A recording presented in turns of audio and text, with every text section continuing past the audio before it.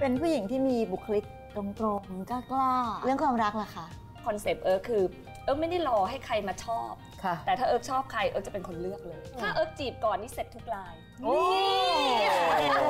คนแบบไหนคะที่เป็นสเปคของเราเป็นแบบเจ้าชายอะหน้าตาดี การศึกษาดี ฐานะดี บุคลิกดูเจ้าชู้นิดๆคือมีไหมชอบคะ ไม่มีค่ะ แล้วทำยังไงอะคะ ก็คบหลาย ๆ คนค่ะ เคยมีคนที่เราคบแล้วเขาคบซ้อนบ้างไหมคะ ต้องบอกว่ากรรมตามสนอง มีผู้หญิงคนหนึ่งโทรมาเบอร์มือถือเอิร์กแล้วก็ขอสายแฟนเรา เอิร์กถามว่าเขาคือใครเขาบอกเขาเป็นแฟน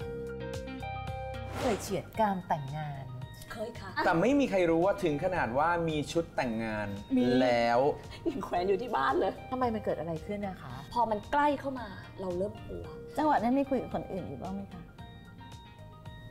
มีค่ะ แล้วสิ่งที่เพื่อนพูดแล้วเรารู้เลยว่าเขารังเกียจเรามาก